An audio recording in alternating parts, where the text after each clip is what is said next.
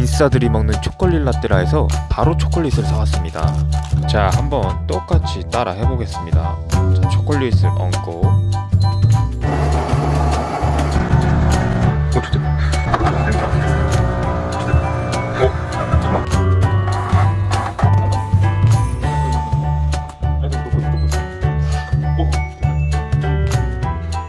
전 영상에서 이걸 따라 했는데 이렇게 넘쳐가지고 실패했어요. 그런데 많은 분들이 제가 크너키를 초콜릿으로 사용해서 그렇고 가나 초콜릿을 하면 된다고 해가지고요. 바로 해봤습니다.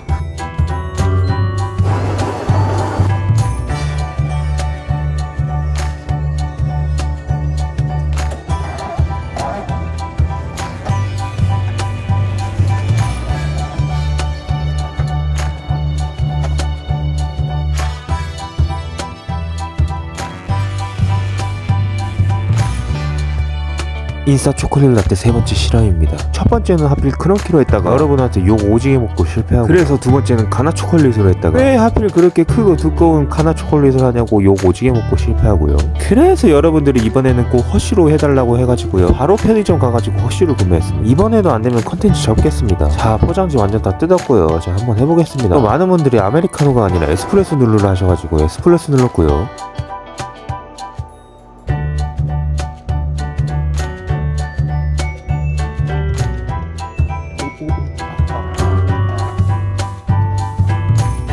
Wow 이번에는 전혀 넘치지도 않았습니다. 이 정도면 성공이죠. 성공했으니까 이제 초콜릿 라떼 제대로 만들어 볼게요. 일단 잘 저어서 녹여주시고요. 얼음을 넣어서 아이스로 만들어 볼게요. 한 움큼 그리고 두 움큼 물 조금 넣어서 흔들어 주시면 됩니다. 한번 맛을 볼까요?